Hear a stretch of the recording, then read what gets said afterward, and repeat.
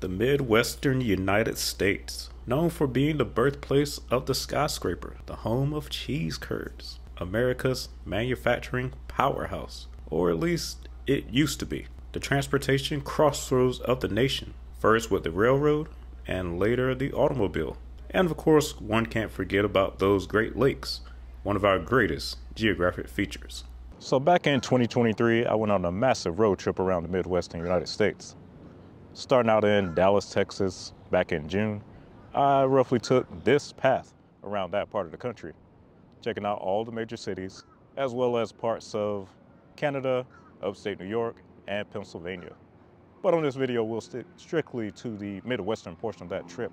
I'm gonna share with you guys eight things that I learned while traveling around the Midwest for six months. Now we'll be mostly sticking to infrastructure, but I'll throw a few other things in there when necessary. So hit that like button, subscribe if you love the content, and let's talk about the Midwestern United States. First, we'll get right into perhaps the biggest shock about the Midwest, and that is that it is a land of extremes when it comes to weather. Being from North Carolina, I'm used to getting a pretty nice dose of all four seasons. But in the Midwest, it can get really hot in summers, but it also gets quite a bit colder in the winters. When I first started this trip, it was in the middle of the summer, so of course you could expect very warm temperatures. 90 degree days were no surprise, but what I did notice was quite a few days where the temperatures reached 100, or pretty close to it. By the time I had reached Kansas City, Iowa, and the Twin Cities, it was scorching hot. I'd say it was a little hotter here than back in the South, perhaps due to the lack of the ocean nearby. Now, I was expecting it to be warm, but not this warm this far north. But on the flip side, it also got cold a lot sooner here than other places. While it was scorching hot in the Twin Cities in August, just up the road a couple hours in Duluth, it was sweater weather. Not only that, but the summer ended quite abruptly. October was all there was to fall, and winter came quickly with a vengeance. By November, I had reached the other side of the Midwest and entered the Cleveland area. You don't need to dream about a white Christmas in the Midwest because it was already white and snowing by Thanksgiving. When winter comes up here, it snows hard and it gets cold. Very cold. Fortunately, they're used to it up here and usually have most of the roads cleared quickly after a snowstorm, unlike some places in the south, Nashville. So, basically, put in the Midwest, the summers are hotter, the winters are colder, spring and falls are shorter. The land of extremes in terms of temperature. Now that we know that the Midwest is a place where one can bake or freeze within a span of only three months, let's talk about the major metros that make up this region and the overall hierarchy. First off, Chicago is king. Centrally located, by far the largest metro area in the region, and the crossroads of tons of rail and roadway infrastructure, the heart of Midwestern culture lies in Chicagoland. Despite some recent struggles, at over 9 million people, Chicago's position at the top in the Midwest won't be threatened anytime soon. The second tier metros in the area are Detroit and the Minneapolis St. Paul areas. The locations for these metros is also fitting. Detroit lies in the eastern part of the region on the Great Lakes, serving as the hub for that side of the area, attracting folks from Ohio, Indiana, and Ontario, Canada. While the Twin Cities lie to the west of Chicago and serve as a center of gravity for people in the surrounding states such as Iowa, Nebraska, Wisconsin, and the Dakotas. Now, I know some of my Detroit folks might take issue with this, but despite the Detroit area having a higher population, I found the Twin Cities to be the more vibrant and healthy of the two metros. Detroit proper had a legendary decline in the late 20th century, and while it has made some improvements recently, it has that depressing feel that you get when you have tons of wealthy suburbs surrounding a poor, hollowed out core city. You'll find a similar look in places like St. Louis and Baltimore. While Minneapolis has had a more diverse economy and had more nice areas in the core city than Detroit proper. By some measures, it has already surpassed Detroit, economically speaking. The metro as a whole has always posted steady growth, while Detroit has around the same population that the metro had in 1970. Minneapolis, of course, isn't without its struggles, as the events of 2020 started there, and some things haven't been the same since. However, it is still more vibrant than Detroit, and has a better looking skyline today. The third tier is where things get a little more interesting. In this tier, I'd put both Missouri metros, St. Louis and Kansas City, all three Ohio metros, Columbus, Cincinnati, and Cleveland, along with Indianapolis and Milwaukee, Wisconsin. What you'll find in these metros is populations under 3 million, but more than 1 million.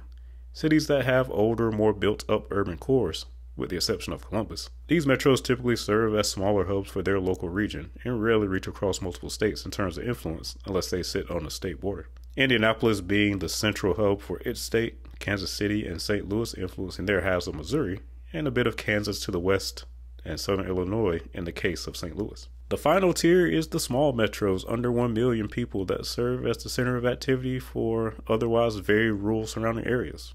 These are your Omaha, Des Moines, Wichita, and Madison's. Madison might be the exception concerning surrounding areas being rural, as it's not too far from Milwaukee.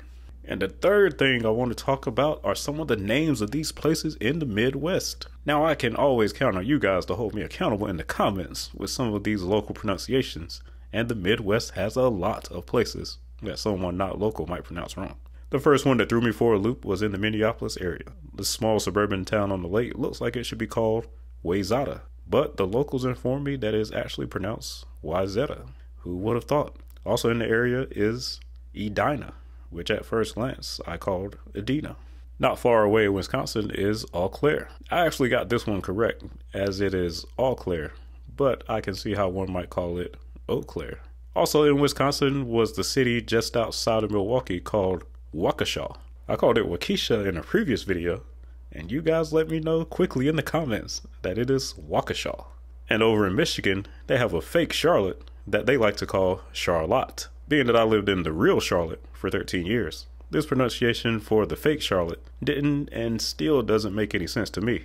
But hey, it's Michigan. They copied our state highway sign too, so it's only right that they copy and modify Charlotte to meet their needs. Now, these other two places I didn't have time to actually visit, but I just have to throw them out there, and that is Pierre, South Dakota, and Cairo, Illinois. Now, you would think these would be easy ones Pierre in French, and Cairo, as in Egypt, but not in the Midwest. They just had to create their own way. It is Pierre, South Dakota, and Cairo, Illinois, only in the Midwest. Next, we'll talk about one of my favorite subjects, and that is the traffic. Those of you on the East Coast in heavily populated places like New York, or those in the Sunbelt cities where people are flocking to in droves, are familiar with the traffic woes, as State Department of Transportation struggle to keep up with the infrastructure demands of all those new residents. Well, in the Midwest, that is not much of a problem, except in Chicago, of course. But overall, in the Midwest, traffic flows very well compared to other parts of the country. If you look at a map of the interstates in the Midwest, you'll see a very high density of them compared to the South and even the Northeast. Kansas City, in particular, has the highest freeway density of any metro in the country. The primary reason for this is that the Midwest was a much more prominent region of the country in terms of population, back when the interstate highways were first conceived.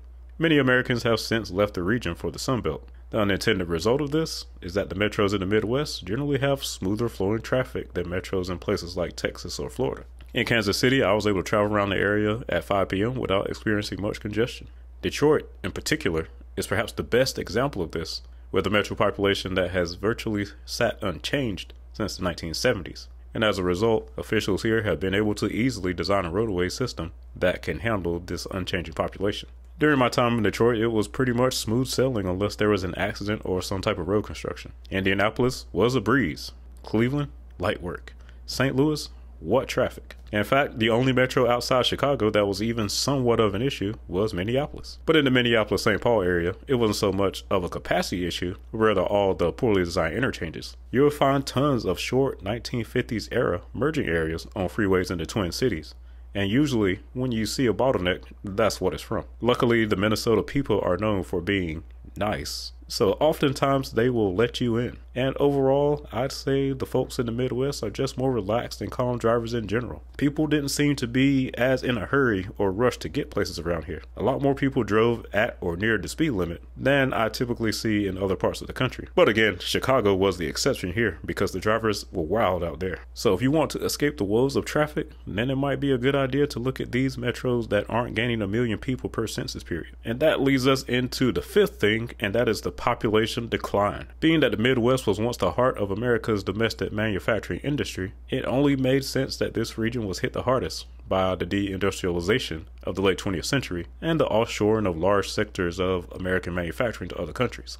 As such, you'll notice significantly more older, rusted, or decaying infrastructure around these cities. You'll see more bridges and expressways that are in need of repair or some type of maintenance. And who can forget the I 35E bridge collapse in Minneapolis, though they have since replaced it with a much more modern, durable structure. Many parts of the Rust Belt overlap with the Midwest, and you will certainly see plenty of rust up here. This is in contrast to the Sun Belt, where you'll find lots of shiny new infrastructure and modern, clean structures. That population loss might be most depressing in some of the smaller towns of the Midwest. Traveling around this area, I saw some towns that have lost more than half of their populations. Some of them you've already heard of East St. Louis, Illinois, Gary, Indiana, Cairo, Illinois, among others. Highland Park, Michigan was a stark contrast to Highland Park, Texas. These places have had extraordinary levels of population loss that are pretty much unheard of in other regions of the country. Gary has gone from 175,000 to 70,000 people today.